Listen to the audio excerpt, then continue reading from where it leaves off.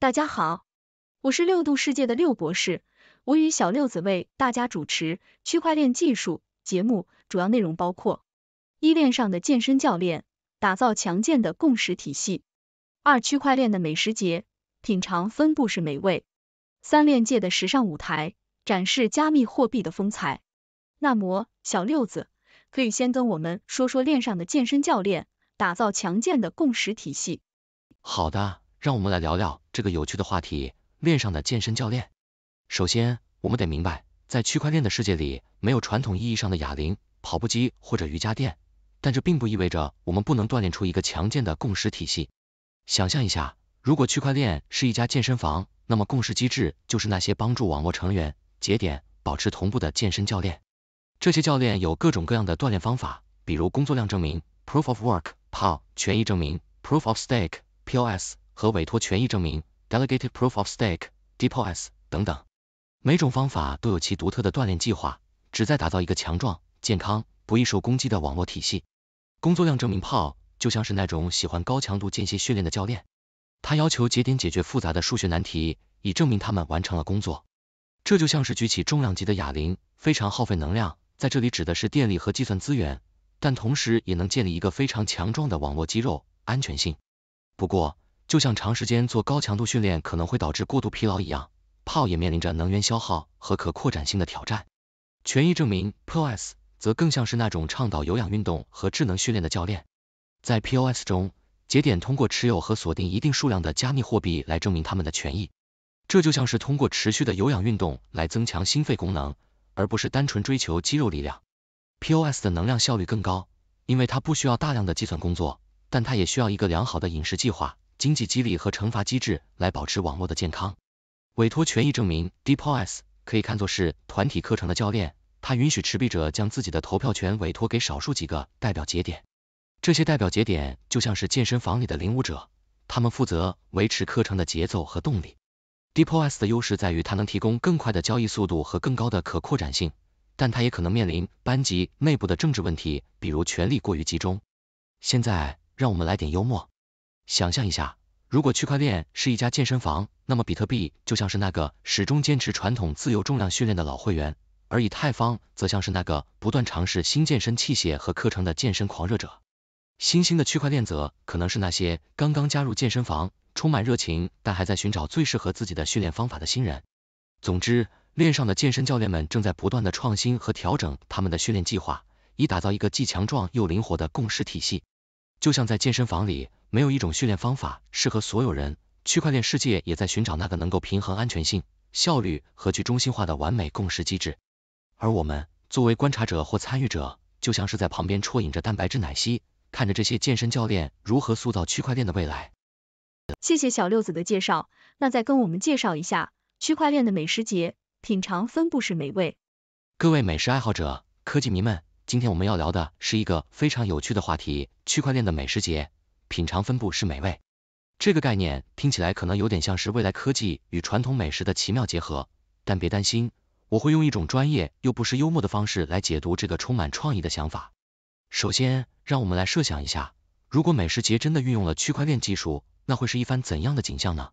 区块链这个通常与加密货币、智能合约和不可篡改的数据记录联系在一起的技术，怎么会和我们的舌尖上的美味扯上关系呢？想象一下。你走进了一个充满了各种美食摊位的节日现场，但这不是普通的美食节，这里的每一道菜都有其独特的区块链身份，每个摊位都像是一个节点，而所有的食物信息，包括原料来源、厨师资质、烹饪方法，甚至是顾客的评价，都被记录在一个公共的、不可篡改的分布式账本上。这意味着，当你品尝到一道绝妙的烤鱼时，你不仅仅是在享受它的美味，你还能通过扫描一个二维码。立刻了解到这条鱼的一生历程，从出生在清澈的湖水中，到被捕捞、加工，再到最终被烤制成为你面前的佳肴。这是一种全新的美食体验，让每一口食物都变得透明而有故事。而且，由于区块链的特性，这些信息是不可篡改的，这就意味着你不必担心摊主会夸大其词或是虚假宣传。你所看到的每一条鱼的故事都是真实可信的。这不仅仅是对味蕾的一次冒险，更是对诚信的一次深刻体验。但这还不是全部，在这个区块链美食节上，你还可以使用加密货币来支付你的美食。想想看，用比特币买一碗拉面，或者用以太坊交换一份沙拉，这不仅仅是一种支付方式的革新，更是一种文化的融合，一种新旧交汇的体验。最有趣的是，如果你在这个美食节上发现了一道特别棒的菜肴，你甚至可以通过智能合约来订阅这个摊位的未来创作。这就像是给你最爱的厨师打赏，同时确保你能够第一时间品尝到他们未来的杰作。总之，区块链的美食节不仅仅是一场对味觉的盛宴，它还是一次对技术、透明度和创新的探索。在这里，每一口食物都不仅仅是满足你的饥饿，它们还承载着信息、信任和未来的可能性。这是一场真正意义上的分布式美味的盛宴，让我们一起期待这样的美食节能够早日成为现实吧。谢谢小六子的介绍，那再跟我们介绍一下链界的时尚舞台，展示加密货币的风采。各位时尚爱好者。数字游牧者以及加密货币的狂热粉丝们，今天我们要聊的是一个非常有趣的话题——链界的时尚舞台。在这个虚拟与现实交织的世界里，加密货币不仅仅是一串冷冰冰的代码，它们已经成为了一种独特的时尚标志，一种展示个性和态度的方式。首先，我们得承认，加密货币的世界充满了神秘感和未来感。比特币、以太坊、瑞波币，这些名字听起来就像是来自另一个宇宙的货币。而在这个宇宙里，每一种货币都有自己的个性和风格。比特币就像是那位穿着经典黑色晚礼服的绅士，永远保持着低调而优雅的风度；以太坊则像是一位身着前卫装束的艺术家，总是散发着创新和实验的气息。至于瑞波币，它就像是那位在商务场合总是穿着笔挺西装的职场精英，专业而高效。在这个链接的时尚舞台上，不同的加密货币就像是不同风格的时装，它们代表了投资者的品味和选择。有人喜欢经典，就选择比特币。有人追求创新，就投向以太坊；还有人崇尚实用，瑞波币就成了他们的最爱。而这些货币的价格波动，就像是时尚界的流行趋势，时而高涨，时而低迷，让人捉摸不透。但是，链界的时尚不仅仅局限于货币本身。随着 NFT 非同质化代币的兴起，艺术品、收藏品甚至虚拟服饰都成为了时尚的新宠。想象一下，你可以拥有一件独一无二的虚拟服装，穿在你的数字化身上。在虚拟世界中炫耀你的时尚品味，这不仅仅是一种展示，更是一种身份和地位的象征。当然，链界的时尚舞台也充满了戏剧性和挑战。加密货币的价格波动就像是时尚界的猫步走秀，时而摇摆不定，时而步伐坚定。投资者们就像是时尚界的设计师，不断的在寻找下一个可能引领潮流的新星。总之，链界的时尚舞台是一个充满活力、创新和个性的世界。在这里。每个人都可以找到属于自己的风格，展示自己的加密货币风采。所以，下次当你在考虑投资哪种加密货币时，不妨也考虑一下，它是否符合你的个人时尚品味呢？毕竟，在这个数字时代，我们每个人都是自己故事的主角，也是自己风格的设计师。亲爱的观众们，今天我们聊了三个有趣的话题：链上的健身教练、区块链的美食节和链界的时尚舞台。通过幽默和轻松的方式，我们一起探讨了这些话题背后的深层含义。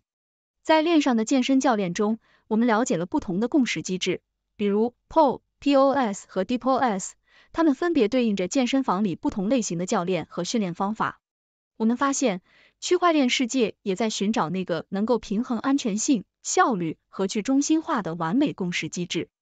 而在区块链的美食节中，我们想象一场能够通过区块链技术追溯食物历程的美食盛宴。这不仅让我们的味蕾得到满足，更让我们对食物的来源、制作过程和品质有了更多了解。区块链的透明性和不可篡改性为我们提供了一个信任和诚信的美食体验。最后，在链界的时尚舞台中，我们探讨了加密货币的时尚标志和个性化选择。每种加密货币都有自己独特的风格和品味，就像时尚界的不同服装一样。而 NFT 的兴起更让时尚进一步延伸到了虚拟世界，展示个性和身份的象征。通过这三个话题，我们不仅了解了区块链技术的应用，更发现了数字世界中的趣味和创新。所以，亲爱的观众们，你有什么样的想法呢？你对这些话题有什么看法或者疑问？欢迎你们留言和我们一起讨论。感谢大家的收看，我们下次再见。谢谢大家收看六度穿越系列节目。这个节目由媒体专业人士、科学家、工程技术人员编纂、设计、制作。但是这些内容并非用于做出决策或法律裁定的基础。欢迎在节目留言区发表您的见解，纠正节目可能存在的错误。谢谢大家收看，欢迎订阅我们的频道，给我们节目点赞。